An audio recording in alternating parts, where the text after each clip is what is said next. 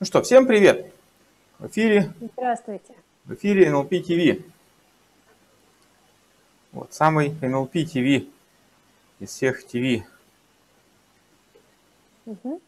А, И э, сегодня мы э, решили поговорить на тему а, обучения, образования, развития НЛП и обучения. Да? Каким образом НЛП помогает в обучении, на что обращать внимание, каким образом вы можете повысить свою а, личную эффективность в обучении.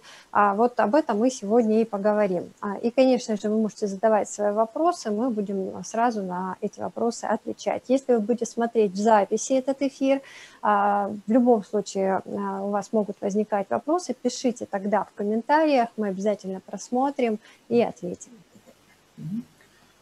Да. Ну что, а, NLP, а, NLP в обучении. Ну, во-первых, наверное, надо сразу сказать, э, вспомнить, напомнить о том, что NLP в принципе э, создавалась как э, идея о том, что о том, чтобы эффективные, эффективные навыки одних людей описать, причем описать с таким качеством, чтобы другие люди их могли повторить. Ну, повторить со сравнимым качеством. Да, конечно, НЛП начало это делать с, с психологов, да, с психотерапевтов, а, поэтому, естественно, а, изрядный крен а, среди методов НЛП есть в психологической и психотерапевтической направленности. Да? Очень много техник в НЛП вот таким вот образом описаны, именно психологических. Вот. При этом иногда за этим э, забывают видеть вот то самое НЛП, которое, собственно говоря, для обучения. Вот, но мы помним, и поэтому хотим как бы тоже рассказать. Да? Чего есть в НЛП для обучения? Что происходит, когда приходят люди, например, на а, тренерский курс, который построен на техниках НЛП, приходят после других тренерских курсов, а, в том числе работая уже тренером, а, но знакомясь с некоторыми технологиями НЛП. Происходит обычно веселое. Обычно говорят, о, типа, ничего себе. О, говорят, а так тоже можно, типа, о, как классно. О, а я вот раньше об этом вообще даже не задумывался. Потому что в НЛП есть несколько, несколько весьма прикольных технологий, которые э, очень полезны для того, чтобы процесс обучения поддерживать. Поддерживать, ну, как бы со всех сторон, да? Поддерживать и с точки зрения, когда мы кому-то, кого-то чему-то учим, да? И с точки зрения, когда мы сами учимся, например. Ну, то есть там для себя, да, это дело ускорять. Что такое, что такое навык? Что такое, когда, а, когда мы чего-то умеем делать?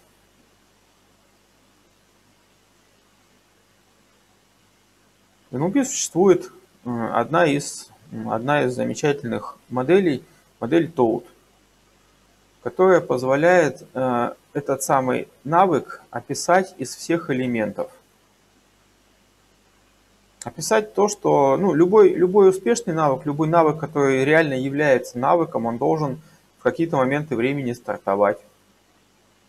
Есть он должен включаться по каким-то внешним параметрам, да, по каким-то триггерам. В нем должны быть какие-то поведенческие действия, что-то должно происходить там внутри навыка, какие-то шаги в какой-то последовательности. Может быть даже там, типа, если так, то вот так, да, если так, то вот так – Навык должен к чему-то вести, то есть должен быть какой-то результат этого навыка, желательно проверяемый. Ну, было бы здорово, если бы он был проверяемый, да? Желательно собой проверяемый. Навык должен быть зачем-то. То есть, ну, какая-то такая, ну, ну мотивация, может, можете назвать мотивация, можно назвать э, чем-то, ну, что дальше, да, там, что потом, ради чего большего или не большего, просто как бы просто зачем, да? Просто, просто что дальше, к чему мы потом переходим. А, и таким образом, когда мы говорим о слово навык, мы можем подразумевать а, очень широкую палитру действий. от самых простых до достаточно сложных. Навык завязывать шнурки, навык приготовить еду, навык вести тренинг, навык достигать целей. Это мы все можем назвать словом навык, но мы понимаем, что уровни сложности у этих навыков, они принципиально разные.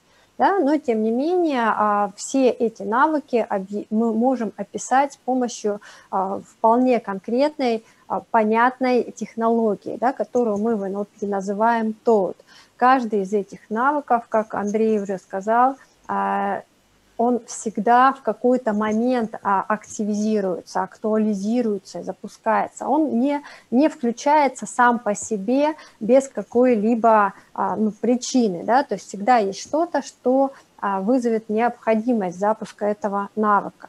И, конечно же, каждый из этих навыков, он даст, содержит в себе определенную последовательность действий. Да? И этих действий может быть и очень мало, и очень много, если навык достаточно сложен. И, конечно же, там есть понимание, для чего а, и в целом, да, как это повлияет на жизнь. Вот, поэтому, когда говорим об обучении, мы говорим, а, в принципе, о некоторой стратегии. И в том числе, в том числе важным моментом является то, что навыки, ну, как бы вложены в друг дружку. Какой-нибудь достаточно крупный навык может состоять из нескольких, угу. из нескольких отдельных, которые сами по себе там навыки более мелкие, еще более мелкие, еще более мелкие. Это очень важный момент. А, там как бы детализировать можно очень до очень как бы низких параметров, и в принципе в том самом моделировании так и делается. Но здесь мы можем только, наверное, сослаться на Э, выпуск NLP TV про моделирование, он есть, чтобы mm-hmm. сейчас просто его не повторяли. А... Ну, нам, вот, например, да, а, Андрей, прости, перебью тебя, вот, например, как это может выглядеть? Вот есть навык а, там, а, владения иностранным языком, да, владеть иностранным языком – это вполне себе достаточно серьезный навык. Но если мы начинаем смотреть детальнее, то в этот навык будет входить навык воспринимать на слух, это отдельный навык в рамках большого да, владения. Навык говорения, да, звукоизвлечения, а, навык чтения. То есть и каждый вот из этих навыков а, мы тоже разбираем по вот этой стратегии ТОУТ, и там тоже есть все вот эти этапы, о которых мы уже говорили. Да, и при обучении, вот здесь вот хочу такую штуку сказать, а, Иногда, э, иногда, э, ну, скажем так, люди, которые рассказывают да, о каких-то навыках, люди, которые э, учат чему-то, иногда бывают, ну, теряют, что ли, вот это вот, как, как бы сказать-то, да, детали замыливаются. У меня навык работает, я уже давно забыл его декомпозировать, то есть разбивать там на частички. Вот. Я периодически сотрудничаю с, с одним образовательным проектом э, по поводу репетиторства в э, математике и информатике, ну, по, по, моей, по, по моей старой специальности. Вот, так вот, на, навык вот какого-то там решения задач, да, решения вот этих вот самых уравнений, он также состоит из разных кусочков, и я замечаю иногда у вот детей, что они а, потеряли где-то по ходу маленький навык, который там, ну, как бы кусочек. В целом он понимает, как решать вот это уравнение, но на уровне более мелких навыков у него один выпадает, и он где-то в процессе начинает путаться, там плюс на минус, там вот это вот все, и у него потом получается такая как бы каша, и он просто, то есть весь, весь большой навык, хотя он вроде бы ему понятен, да, но в какой-то момент он просто бум рассыпается и падает, и все, и как бы человек сидит и все, и фрустрирован, да, он не понимает, что дальше делать, потому что у него, как бы у него пошел какой-то хаос, все, да. И в этом месте, в этом месте я, я-то ладно, да, я-то вижу, что как бы вот мы идем по структуре, мы проваливаемся вот в эти там детальки, да, навыка. Я вижу, что проблема-то вот здесь вот, да, что вот тут вот нужно навык подкрутить. А в целом нормально. Ну, его как бы подкрутили. Но не всегда, э, как бы не всегда вот это вот деление на то, вот не всегда вот эти вот э, детализации работают, а они полезны. Они полезны, чтобы, э, чтобы навык можно было передавать, чтобы навыки можно было корректировать, чтобы навыки можно было, ну, как бы корректно описывать. В том числе, чтобы корректно описывать, чтобы, например, проверить, а почему он, может быть, не работает, да? Угу. Почему какой-то навык мог перестать работать? Раньше работал, сейчас перестал. Ну, э, это может э, касаться любых сфер жизни, да, и а, там вот раньше человек может говорить, да, там раньше я сохранял вес там вот, ну, легко, да, и как-то не прикладывал особых усилий, да, но потом что-то пошло не так, да, и сейчас у меня не получается, я делаю то же самое, я, может быть, питаюсь так же, да, там, но не получается, или там, я не могу начать заниматься спортом, да, то есть я что-то могу делать регулярно, а вот там заниматься спортом не могу. Это значит, что в принципе человек действительно понимает, а, что нужно делать а, в целом, но есть какие-то детали, которые он не учитывает, э, и эти детали рушат реализацию стратегии. В принципе, разобравшись ну, в этих моментах, можно стратегию выстроить и сделать рабочей что-то поменять под влияние момента, да, под настоящее. Э, там что-то, не знаю, что-то скорректировать, что-то еще сделать, да, и понять, что э, иногда какие-то навыки, они э, ну, важны какими-то вот своими действительно элементами. И эффективность каких-то навыков состоит в том, что больше или меньше вот тех самых там запускающих моментов учтено, да, там навык, вот, ну, навык тайм-менеджмента, да, вот, например, прикольный, но э, там некоторые люди забывают в тайм-менеджмент вписывать отдых. Получается, как бы тайм-менеджмент, он либо себя загоняют в там постоянную работу, да, либо приходится как-то вот там очень сильно делить, где он перестанет совсем работать, например. Вот. Что еще? Что еще? Дима к нам пришел в комментарии. Дима, Дима, привет. Привет. Вот. Что еще? Угу. Окей, это, это одно, да, то есть э, декомпозиция навыка, умение его описать, причем давайте умение описать важным моментом, умение описать все-таки сенсорно. Чем сенсорнее мы описываем, тем, естественно, людям понятнее. А, в тренингах, в, там, в каком-то индивидуальном коучинге, в обучении. Если объяснили человеку навык по шагам, да, четко, понятно, вот видишь вот это, делаешь вот это, потом вот это, потом вот это, смотришь на вот это, да, там вот получаешь вот это, молодец, да. Или там недополучаешь вот это, там вот это. Ну, это уже тоже туда немножечко в сторону моделирования, но э, опять же, нормальные навыки всегда имеют запасные стратегии что происходит, если там чуть-чуть не получилось, да, если сильно не получилось. И это тоже важным моментом является. Что делать в ситуациях вот таких? Детально, да, детально. А можем ли примеры потом по этому поводу строить? Да, конечно, можем. Мы рассказывали вот буквально недавно о метафорах, да, пожалуйста. Навык, описанный по описанный вот так вот по Тоуту, описанный по стратегии, прекрасно на его фоне строятся метафоры, сказки, э, истории успеха, истории неуспеха. То есть все, все как бы отлично, все хорошо. Угу. И, конечно же, да, э, эффективность навыка а, зависит, во-первых, от детальности, прострои, простроенности да, этого навыка а, и способности этот навык приложить к какой-то конкретной ситуации.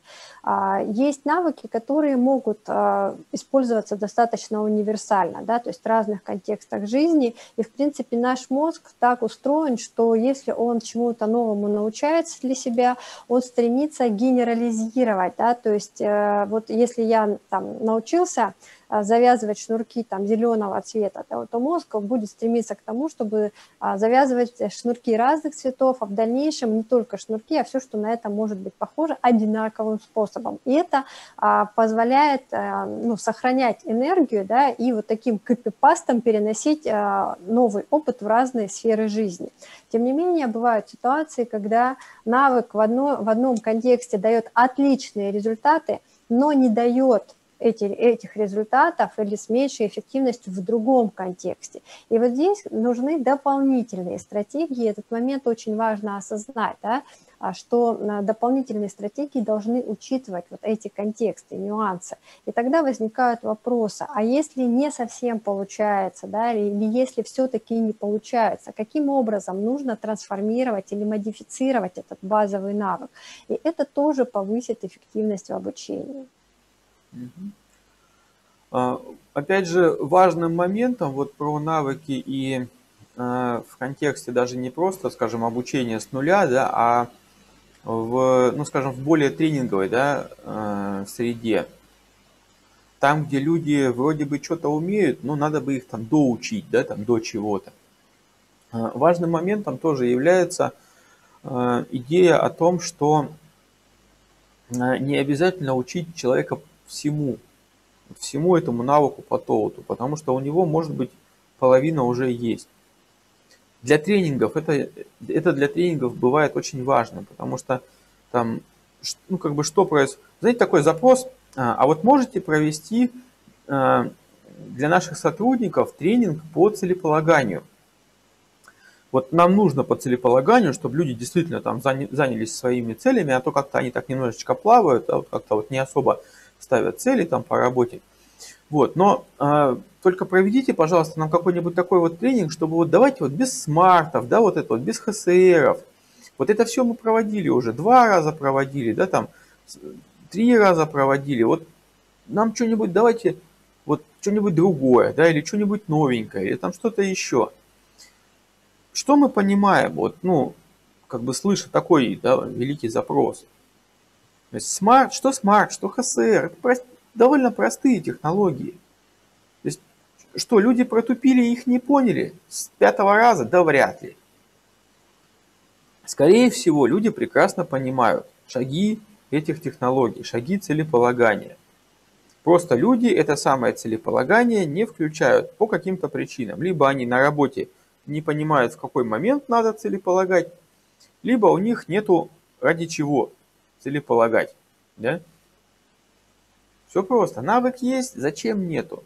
Если у меня есть навык, если я знаю, как это делать, но если я не хочу, если мне незачем это делать, если я не вижу в своей ну, ситуации, в которых я это буду кстати, делать. Кстати, вот, Андрей, да, вот дополню тебя а, вот прям в тему. Очень часто а, в компаниях бывают ситуации, что сотрудникам нет смысла а, повышать свою эффективность. И э, их можно огромное количество раз обучать разным э, техникам целеполагания, они будут их знать, они их будут понимать, но применять не будут, потому что нет вот этой большей мотивации, потому что большая эффективность никак не отразится ни на их там, зарплате, э, там, ни на их, может быть, времени, количестве времени работы там, и так далее. Да? Ну, компании будет хорошо, безусловно, но человек просто там, будет эффективнее работать. Ну, это никак на нем не отразится на его жизни в других контекстах. Вот. А, и да, тогда, конечно же, можно много раз повторять одно и то же, но результата не будет.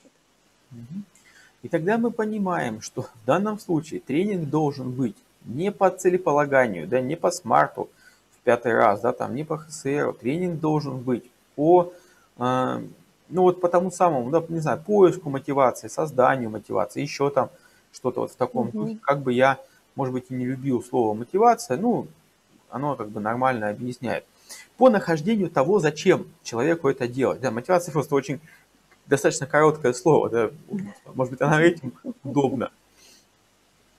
По созданию для чего, да, по нахождению для чего, там, по объяснению где. Очень часто, кстати говоря, на э, тренингах вот э, в структурах типа MLM, да, вот э, тренингах, в их тренингах, например, очень часто, очень много внимания уделяют а, тому, чтобы простейшую, в общем-то, технологию продаж, ну, которая называется, типа, там, достань из сумочки буклетик, да, скажи, тут очень много хорошего, вот, нате, посмотрите, да.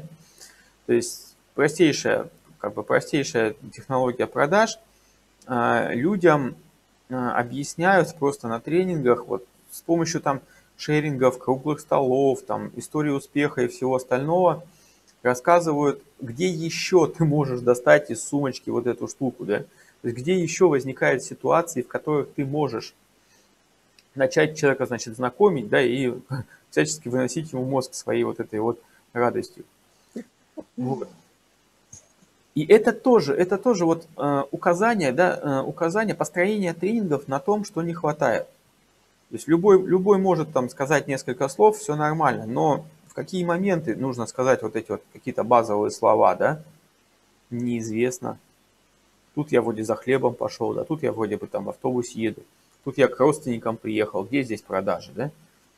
Ну, ему объясняют, что везде здесь продажи, включая вот эти самые как бы триггера, да. Множество примеров. Есть, есть э, запросы э, под тренинги, когда человек знает где, ему это надо, знает, зачем ему это надо, вообще не знает как, да.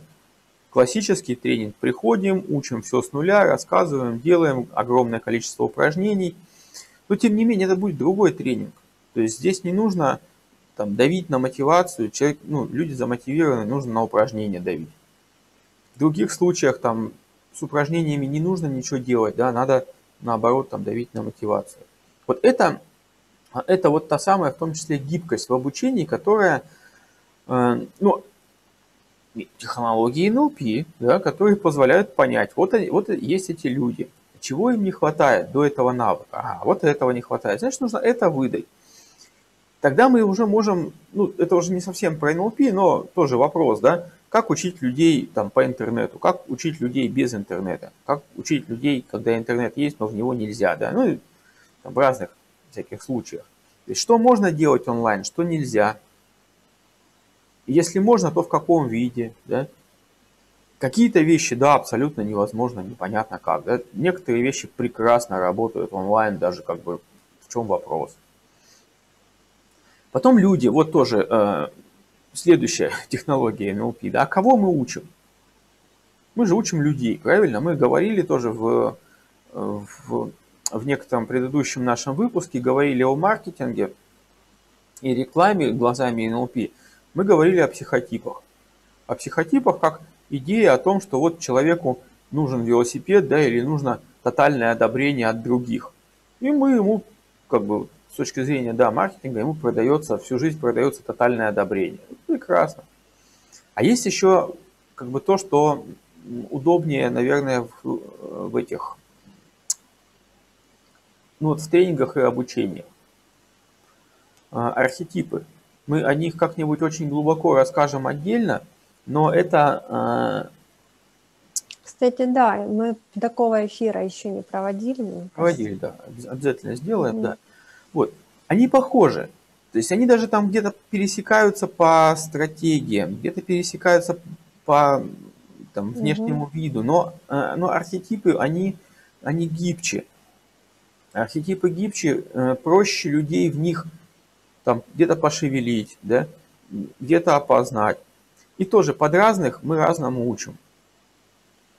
Угу. Человек, человек, который находится там, ну, в условно такой, давайте, в архетипической детской позиции, он как бы все делает, что скажут, да, упражнения делает, там, лекции под запись, там, вот это все, ну, окей, да, классно. Если мы это понимаем, мы ведем тренинг по одному, да, мы рассказываем по одному. Человек там в архетипе, э, ну, воинском, например, да, ну, там, там по-другому. Там вот как раз не надо мотивацию, у него есть, да. Там, ну, напомнить просто, что типа, и угу. упражнение, упражнение, упражнение, да, не надо там вот это вот, там, там как бы, ну, не сработает, там не надо. Да, конечно, это, раз, это разные люди, можно даже так сказать, это разные люди, они обучаются по-разному, они мир для себя описывают по-разному, естественно, и обучаются они с серьезными отличиями. А если мы говорим об обучении ну, внутри корпорации, да, внутри фирм, компаний, да, то все равно мы понимаем, что там нужно учитывать вот это восприятие, да, потому что, как правило, разные отделы, они ну, будут состоять из определенного типа людей преимущественно. То есть понятно, что это там не сто процентов преимущественно. Ну, вот, и эту специфику важно учитывать, опять же, для эффективности. И здесь а, нужно понять тогда тот момент, что а, и тренер а, в своей вот такой роли, тренерской роли, он тоже должен соответствовать этой аудитории, да, потому что, ну, не всегда, да, не всегда образ там учителя может аудитории зайти. И мы даже говорим не столько там а, о каких-то там личностных качествах. Тут речь идет прежде всего о стратегиях донесения информации, описания этой информации. Тот самый рапорт, если угодно, который угу. тоже есть такие слова в НЛП, и который, опять же, если мы говорим о рапорте э, ну, классическом, да, нелповском, который все-таки действительно такой больше психологический, то это одно. А вот добавленный к нему ролевой рапорт, ну, это вот уже совсем другое. То есть это уже как раз-таки, да, вот где учитель и дети, например, вот сразу, сразу там одно, да, там где старший сотрудник, младший сотрудник, да, где там э, умудренный опытом, да, и там, там, где самый харизматичный и не самый харизматичный эти моменты. Да, это тоже NLP, да, эти вещи тоже прекрасно учитываются и строятся. Что еще? Подача материала. Ну, во-первых, да, как бы вот та самая структура для кого, но те же самые там визуально, визуально чего-то там, да, эм, ну, там, как рисовать на флипчарте, да, имея в виду, что у нас есть там визуальные, аудиальные, кинестетические, да, дигитальные каналы восприятия. То есть как подавать информацию, то есть как ее структурировать. Ну, это вот такое, это не совсем, наверное, NLP все-таки, это уже где-то, наверное, смоделированные какие-то штуки. Угу. Ну, там тот же самый там mind map, да, например, там, там ну, типа, достаточно современная концепция, да. Вот. Мне, правда, не очень э, последнее время нравится, как их начали рисовать, потому что от изначальной идеи, где есть как бы обобщение и структура, да, некоторая общая, попытки запихать в mindmap все превращают к тому, превращаются просто в то, что это какая-то нечитаемая паутина совершенно появляется. И ну, утеряно вот это вот, там, может быть, даже по-старому лучше называть это блок схемой, да, и рисовать там нормально как бы с уровнями абстракции, чтобы было понятно, чтобы можно было по ним ходить, там, в том числе головой. Э, что там у нас еще? А, ну, эти э, очень красивые рисунки бизнес-тренеров. Э, очень, ну, хотел сказать классических, нет, наверное, не классических, просто есть школа рисования, там, не, несколько даже школ рисования вот для э, бизнес-тренеров есть. Юль, помнишь, как называется эта штука, где очень красиво рисуют тренинг, который слушают? Скрайбинг, вот. Да. Вот, скрабинг. Окей, да, хорошо, тоже такая. Но надо понимать, что это, наверное, все-таки на, э, ну, на определенный тип людей. То есть вот такие вот красивые картинки, все переливается, комиксы, там, вау-вау, пыш-пыш, да? Это прикольно. Но это прикольно, вот опять же, для определенных, наверное, архетипов. Там, некоторые другие, они уже как бы посмотрят на это, скажут, что-то что-то как-то вот нам бы ну, это... Несерьезно, ну, да, то есть это может да. быть воспринято именно таким образом, да, как элемент развлечения, как элемент там переключения внимания, да, но как вот просто формат э, всего тренинга, это может ну, дать обратный эффект. Но опять же, для определенного для типа людей. Да. Если мы эти вещи понимаем, то мы можем э, скрайпинг да, действительно использовать как базовый, базовый подход к ведению тренинга для определенной группы людей, и им зайдет просто на ура. Но для другой не зайдет абсолютно никак, и э, это будет даже такая провальная акция. Вот. Ну и просто если вы понимаете эти вещи, учитываете их, конечно, тогда любые инструменты, которые вы используете на тренинг, будут работать на вас. Вот. Ну и, и, наверное, что, давайте про самообучение, да? как бы в завершении уже немножечко. А, тоже есть такая очень хитрая штука в НЛП, обратная связь высокого качества, которая помимо того, что позволяет э, ну, без матерных слов объяснить человеку, что именно он сделал не так и что ты от него хочешь, да, и так, чтобы он, в принципе, понял, позволяет в том числе разбить, э, в том числе разбить позволяет э, навык, которым вы занимаетесь, на, опять же, какие-то этапы. То есть вот эта вот идея, э, идея ОСВК, которая там что сделал хорошо, а что можно улучшить, да, детально, сенсорно, поэлементно, она превращается в то, что э, э, ну, как бы навык, э, навык разделяется на вот такую как бы кучу прям вещей, и мы видим, что ага, вот это я уже умею, да, а тут вот еще много того, чего тоже можно, но не то чтобы я должен это завтра, да, то есть скорее вот тут такой признак, что типа что еще можно, да, что еще можно улучшить. И они как бы вот оно висит, что можно улучшить, и нормально там в своем режиме, да, планируя свой вот этот, планируя свое развитие, добавляешь, добавляешь вот эти вот вещи, там одну, ну, к тому, что уже получается, раз добавил, два добавил, три добавил, да? постепенно растет здесь вот это вот. Угу. Да, и тогда обратная связь, она действительно становится полезной, потому что позволяет фокусировать внимание а, на том, что получается хорошо, и на том, на что еще вот прям в ближайшее время нужно обратить внимание, как привнести что-то правильное, да, допустим, элемент, как сделать следующий элемент правильно. Вот. И это ну, на самом деле очень крутая фишка ОСВК, обратной связи высокого качества, которая действительно позволяет двигаться вперед и повышать свою эффективность. Ну, в общем-то, в общем-то, пожалуй, наверное, из основного это и все. Угу. То есть, и в принципе, вот. в принципе, наверное, мы именно, а, именно этим мы обычно и занимаемся на а, тренинге тренеров, которые мы проводим. Это и разделение навыка вот на эти самые элементы, это и создание, кстати говоря, упражнений – упражнений вот из тех же самых там поэлементных, да, и упражнений, которые очень легко, очень легко, прекрасно работают. Если человек знает зачем, понимает когда, он способен просто потренировать это на уровне, ну, типа, как если бы, да, то есть не нужно ничего придумывать, никаких, э, никаких каких-то там хитрых обходных маневров, типа как будто бы мы играем в детскую сказочку про теремок, да, на самом деле мы тренируем тимбилдинг, блин. Нет, давайте мы будем тренировать тимбилдинг без того, чтобы у нас были там ассоциации своих коллег с животными, да. Вот.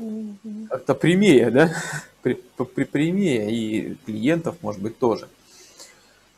А, построение аэропорта, да, те же самые те же самые, э, те же самые архетипы, как кого учить. Э, ну да, те же самые фокусы языка, без них мало куда в НЛП можно, да. Где можно, ну опять же, где можно объяснить, где у нас в обучении тоже есть предубеждения, с которыми стоит поработать. Где у нас есть тоже, э, ну окей, когда мы начинаем, когда мы говорим, да, о том, что надо бы там нам с убеждениями поработать, ой, надо бы нам с мотивацией поработать, надо бы нам объяснить, зачем это нужно людям, да? Ну, все же понимают, да, что вот когда надо объяснить кому-то зачем, там будут фокусы языка. Там мы будем простраивать вот это самое, зачем, почему, кто еще это делает, да, рассказывать противоположные примеры, что типа вот один мальчик не отправил письмо о счастье, и его трамваем переехало, например, или как-то еще. Угу. Ну, фокусы языка, да, конечно, будут обязательно. Ну что, а если у нас есть вопросы, мы ответим. Андрей, посмотри, пожалуйста. Нет, вопросов ну, нету. Окей, вопросов. значит, ну, если они появятся, да, тогда пишите их в комментариях, а, мы обязательно ответим. А если у вас есть пожелания относительно дальнейших наших тем для обсуждения, для раскрытия, а, тоже нам пишите, и мы тогда будем делать вот такие видеоэфиры под конкретные темы. Вот. Ну и что? Тогда на сегодня мы заканчиваем. Одну хочу только вещь еще сказать. Еще? Давай. А там буквально маленькая. Просто тоже, да, кому интересно про НЛП, а, ну, скажем, в образовании таком ближе к школьному, а, есть такой замечательный автор, называется Майкл Гриндер. Я подчеркиваю, Майкл Гриндер. И его книга «Исправление школьного конвейера». Угу. Поинтересуйтесь, да. очень интересно. Про правописание, про э, этого, ну, в переводе про русского языка, э, в, в оригинале про английского языка, да. Вот. Ну, еще там много про чего. По-моему, там и про математику что-то было. Там как раз вот микростратегии, да, вот те самые маленькие, которые помогают.